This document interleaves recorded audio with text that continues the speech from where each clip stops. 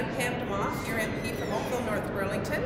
We're sorry we can't be there at the Burlington Best Awards because we're in Ottawa at the moment. But we just want to wish all the best to all nominees on your nomination.